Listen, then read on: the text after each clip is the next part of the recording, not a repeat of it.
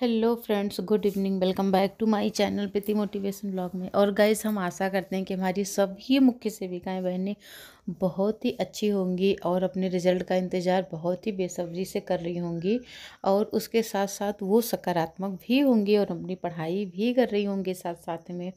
क्योंकि मैंने अपने पिछले ब्लॉग वीडियो में भी बताया था कि देखिए, आप पढ़ाई करते रहिए, जिसका बहुत ज़्यादा नंबर है, और वो भी श्योर नहीं है कि सेलेक्ट ही होगा। और कर, कम नंबर का तो कम है ही है तो प्लीज़ ज़्यादा हो, कम हो नॉर्मल हो, फिर भी आप पढ़ाई करते रहिए, ये बहुत ही अच्छी बात। यूपी में वैसे भी कोई वैकेंसी जल्दी कंप्लीट नहीं होती है तो आप प्लीज़ तैयारी करते रहिए। हो सकता है इससे पहले कोई और जॉब हम लोग सभी को मिल और आज हम बहुत ही सकारात्मक वीडियो के साथ आप लोग के सामने उपस्थित हुई हूँ और मैं बताऊँगी आज स्टे का और मुख्य सेविका से संबंधित सारे अपडेटेड न्यूज़ के बारे में मैं बताऊँगी। तो गैस मैं अपने, अपना एक पिछला ब्लॉग डाला था क्योंकि बहुत सारी गर्ल्स का ये प्रॉब्लम है कि होम साइंस या सोशियोलॉजी टू ईयर वाले लेंगे या फाइनल ईयर तक होंगे, वही लेंगे या बीएससी होम साइंस। तो देखिए, बहुत बड़ी कन्फ्यूज़न है और आयोग को ये चीज़ क्लियर कर देनी चाहिए बट उन्होंने अब तक क्लियर नहीं किया हुआ है। तो मुख्य सेविका बहनों मतलब मैं आपसे सॉरी बोलती हूँ उसके लिए, क्योंकि मैंने जब वीडियो बनाया था तो बहुत लोगों का कमेंट ये आया था कि आपने कोई मतलब अथेंटिक न्यूज़ नहीं बताया पूरे वीडियो में। तो बहन, आप ये बता दीजिए, अगर मान लो मैं कह दूँ कि ठीक है, सिर्फ़ टू ईयर वाले भी मान्य होंगे और अगर बाद में ले लिया जाए, अगर बाद में नहीं मान्य किया जाए और उस टाइम ना आप अपनी पढ़ाई भी छोड़ दें, बिल्कुल उसी का इंतज़ार करने लगें, इधर भी पढ़ाई अपना छोड़ दें तो देखिए आप मुझे ही तो बुरा बोलेंगी ना। कि इन्होंने तो बताया था कि ले लिया जाएगा फिर मैंने पढ़ाई लिखाई अपना छोड़ दिया।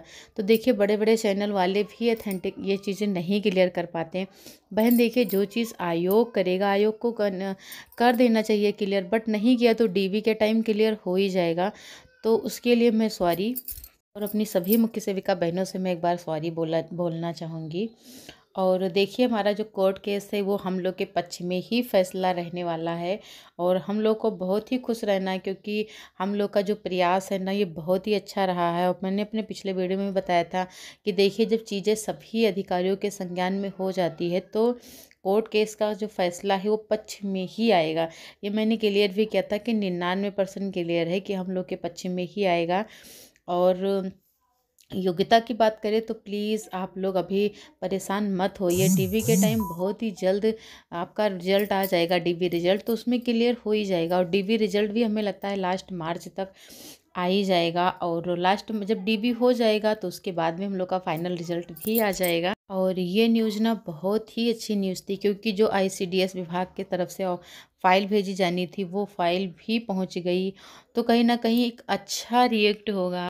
तो हमें लगता है कि हमें मोटिवेट रहना चाहिए और अपनी जिस भी परीक्षा की तैयारी करते हो आप, उस परीक्षा की आप तैयारी करते रहिएगा। और हम आशा करते हैं कि आप मेरे इस वीडियो के नीचे, यानी कि कमेंट बॉक्स में किस किस चीज़ की हमारी मुख्य सेविका बहनें तैयारी करती हैं, कोई भी हो, मेरा वीडियो देखता हो तो प्लीज़ आप बताना कि आप किस चीज़ की तैयारी करते हो। और मैंने तो बता ही दिया है कि मैंने मुख्य सेविका का पेपर दिया था, रिज़ल्ट का वेट मैं भी कर रही हूँ बहुत ही बेसब्री से कर रही हूँ और मैं उसके साथ साथ टीजीटी की तैयारी भी कर रही हूँ क्योंकि ये फॉर्म 2022 में ही फिल किया गया था और मैंने अपने पिछले वीडियो में ये भी बताया है कि जो आयोग था, आयोग का गठन हो चुका है तो हमारी जो परीक्षा है वो भी लास्ट जून या फ़र्स्ट जुलाई के करीब में ही होगी। तो प्लीज़ आप लोग पढ़ाई करते रहिए क्योंकि उधर भी देखिए जिन्होंने फॉर्म फिल किया है तो उधर भी आप लोग मेहनत किए होंगे और मुख्य से मुख्य सेविका सेविका का सिलेबस और होम साइंस टीजीटी का सिलेबस तो सेम है। हालाँकि होम साइंस टीजीटी में बहुत सारे ब्रांच हैं और इसमें ज़्यादा ब्रांच नहीं थे, बट हाँ और ये मतलब सेम ही है, रिज़ल्ट जितना भी था वो सेम ही था। तो आप लोग तैयारी, मुख्य सेविका का पेपर दिए होंगे तो भी करेंगे ये ही होंगे, वो चीज़ तो कॉमन हो गया। और पहले से तो आप तैयारी किए ही होंगे तो प्लीज़ आप लोग प्रैक्टिस सेट वगैरह लगाया करिए। और मुझे लगता है कि जिन बहनों का नंबर कम है, उन्हें तो अपनी पढ़ाई में और फोकस करना चाहिए। क्योंकि देखिए, जब हम लोगों ने एक बार ठान लिया है कि अपने माता पिता का सपना ज़रूर पूरा करेंगे तो ऐसे निराश बैठने से सपना बहन पूरा होने वाला नहीं है। तो प्लीज़ आप पढ़ाई करते रहिए और बस मैं इस छोटे से वीडियो के साथ ही अपने वीडियो को एंड करती हूँ और मिलती हूँ आपसे नेक्स्ट ब्लॉग में। और हम आशा करते हैं कि मेरी वीडियो आपको बहुत ही अच्छी लगी होगी और अच्छी लगी हो तो please like, comment and share ज़रूर करिएगा। बाय बाय बहन।